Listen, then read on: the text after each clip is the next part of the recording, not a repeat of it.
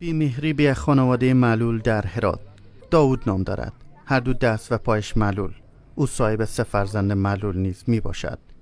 داود توان حرکت ندارد و تمام کارهایش را خانمش که او نیز دچار معلولیت بالاست انجام می‌دهد این خانواده معلول در وضعیت نامناسب و در کمترین امکانات در یک خانه که قبلا حیوانات در آن نگهداری می‌شد در ولسوالی ادرسکن شب و روز خود را سپری می کنند.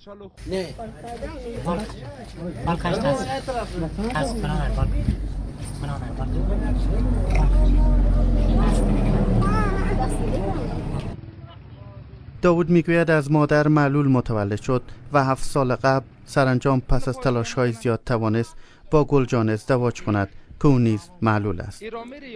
داود می‌گوید فرزند اولش معلول به دنیا آمد و سپس سه فرزند دیگرش به شمول یک دختر همچنان معلول متولد شدند.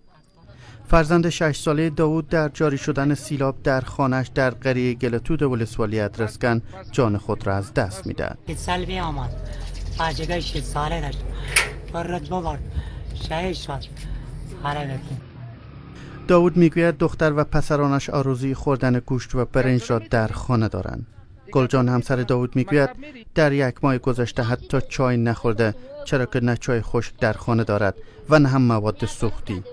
گلجان می‌گوید پس از نماز شام تا روشنایی صبح آنها در تاریکی مطلق در خانه به دلیل نداشتن برق به سر می‌برند.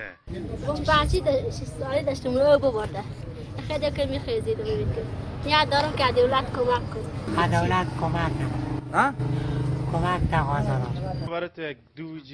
گلجان و داوود با دو پسر و یک دخترشان در قریه گلتوت ولسوالی ادرسکن هرات زندگی می کنند. داود خانه کمک از دولت است. او می‌گوید تا کنون حتی نتوانسته برای سه فرزند معلولش از دولت و نهادهای خارجی کمک جهت تداوی به دست آورد. جنگ و خسارات پس از جنگ همچنان در افغانستان قربانی می‌گیرد.